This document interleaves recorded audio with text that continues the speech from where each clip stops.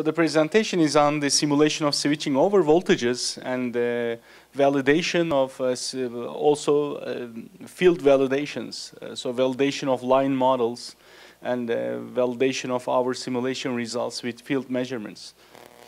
So uh, I'm presenting the here this um, uh, this presentation, but uh, there have been many people working uh, under this project because this was done within the scope of a working group called Field Measured Over Voltages. So um, many people have contributed to this, to this work.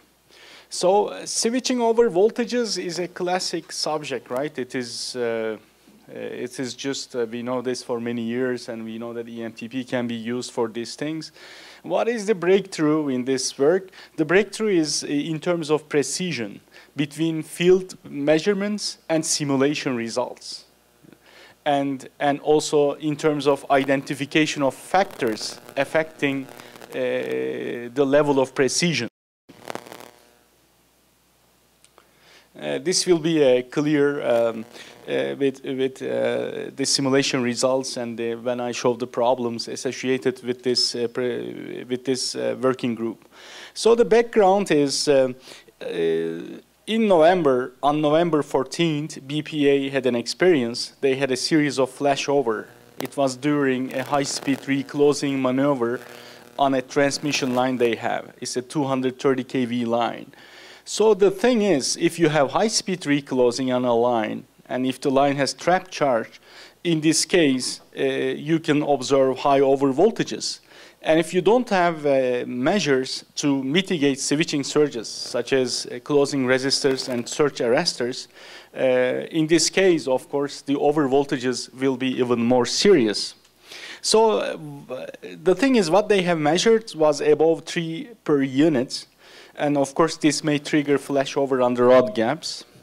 So then, uh, after that incident, uh, because of concerns, uh, safety-related concerns about high voltages, as you know, there is uh, right now uh, transmission lines run in parallel, and uh, it is important in terms of safety, clearance distances. These are important things to figure out. So you need to know the over voltages. So in 1995, BPA did some investigations. What does that? They did a series of field tests to record over voltages and uh, statistical data during high-speed reclosing. So what is the system? We can see the system here. Basically, you have this uh, a portion of their power system, and the Big Eddy Chemawa line is here. Big Eddy is a name of a cowboy uh, that li who lived uh, in this uh, region, part of uh, the United States. Uh, so basically, what they do is this is an open line. You know, they they do high speed reclosing, and then uh, they measure the over voltages here. You have two ends, Big Eddy and Chemawa ends. So basically, they do measurements. Okay, this line is 116 miles. So if you look at the line, uh, of course, it is just not a single line running. You know, you have uh, parallel lines, too many lines here. Uh, so you need to model all these things uh, to obtain good results. Um, so basically, uh, you can use, of course, the library of EMTP for line models. This is not a problem. Uh, so what we have as input is, okay, we have this configuration, and also we have the physical parameters of conductors and the physical layout of the transmission line. And based on these things, we can do our modeling. So we have single and double circuits, we have parallel lines and everything. So what is the objective of this working group? Uh, the objective of this working group is what are the simulation uh, practices to reproduce the field measurement in EMT type simulations, okay? Uh, to reproduce switching over voltages. And uh, what about line models? Are they precise enough? Uh, can I use constant parameters, frequency dependent parameters? What should I do? What is uh, wrong if I use constant parameters?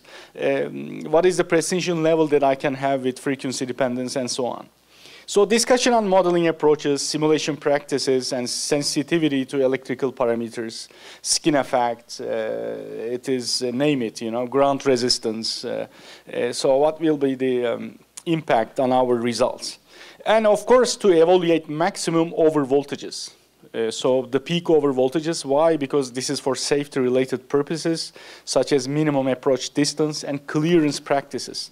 In the US, these are very important because uh, most of the lines are parallel, so uh, that's that why they need to figure out um, uh, the over voltages precisely. And afterwards, how do we perform statistical simulations? How do you model prestrike and include corona in statistical simulations efficiently? Uh, prestrike is obvious because uh, when you have trapped charge here on that line and when the breaker here is closing, of course, uh, depending on the pole span, uh, they, there may be a strike before the switch closes, right? And this strike uh, will continue until uh, current passes zero, so until uh, um, zero cross. So uh, definitely you have to also consider prestrike when you're, uh, working on reproducing the waveform. If you don't consider this arc, this prestrike, uh, you cannot really reproduce the waveform. Okay, these are um, some factors. So we need to, we wanted to know all these things, you know, figure out and uh, solve the mystery. So switching over voltages, they exist for a very long time. We know that uh, EMTP first was used for these purposes. Uh, but the thing is, uh, the thing is, you know, uh, we have these field measurements and they did a good job, you know. It is, uh, at first we said maybe uh, EMTP simulations are correct, but they did a very bad job uh, in the field and the measurements are not are bad but no these are experts. They are really experimental people and they have good measurements and uh, they know what they are doing. Uh, they take into account high frequency and everything in their measurements. So so the thing is, uh, we, we do a number of things, right? We uh, use frequency-dependent line models, we play with ground resistivity, we play with skin effect, we play with shunt conductance, we consider parallel lines. And the source side detail, instead of using a simple source model, we use a detailed source model. We model everything behind the, uh, behind the Big Eddy bus. But, uh, but it is, uh, we were unsuccessful uh, actually to decrease the difference between the field measurements and the higher simulation over voltages. So uh, simulation results in EMTP were overestimating uh, the, the measured over voltages. So I will give the conclusion right away. Okay, I will have many small conclusions along my presentation. So uh, instead of showing all the simulation results and doing a little bit of suspense, I don't think uh, it is time for that. So the thing is, uh, we could match the pattern of the transient voltage waveforms with frequency-dependent line models and prestrike. Uh, inclusion of prestrike. But the magnitude uh, is significantly overestimated unless the effect of corona is considered. You know. In this particular case, it's a 230 kV line. You may say corona should not be that important. But we are reclosing on trapped charge. When you are reclosing on trapped charge, you can have very, very high uh, uh over voltages uh, in the order of 3 pu because of the difference between your trap charge and the system voltage, you know. It is, uh, for that reason, you need to consider corona. If you had, for example, mitigation, such as closing resistors or surge arresters, in that case, yeah, maybe, uh, maybe even if you don't consider corona, your results would be fine. But in that case, this line had no uh, mitigation for uh, over voltages. So so the little bit outline of the measurements, what they done, uh, what they did. So they they uh, they had waveforms and three-phase line switching test series, and then uh, without staging of creating a stage fault, they did three-phase trip and reclose tests. So this gives you a feeling of high-speed reclosing. Uh, one end is open, the other end is open, so you're closing, you're just reclosing and tripping and and uh, and this gives you uh, uh, some measurements that are very useful in in doing this validation studies. Once we uh, validate our line model, we can proceed with statistical simulation phase. Why do we do statistical simulation phase? Because, you know, when you have a three-phase switch, uh, poles, they don't close at the same time you know, there's a little bit of variation. And this may have an impact on the over voltage. Another thing is the closing time has an impact on the peak over voltage. We all know this, you know, it is, uh, it is a circuit, it is simple. So that's why uh, we, with statistical studies, we can catch the maximum over voltage, you know.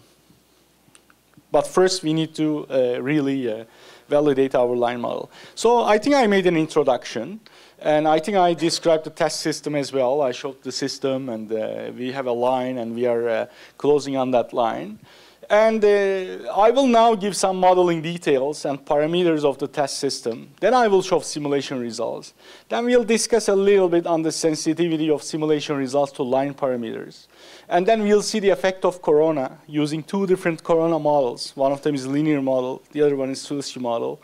And then, uh, and then I will very quickly talk about statistical studies because I have uh, 20 maybe uh, uh, more slides, but I will just show a few slides, okay, not more.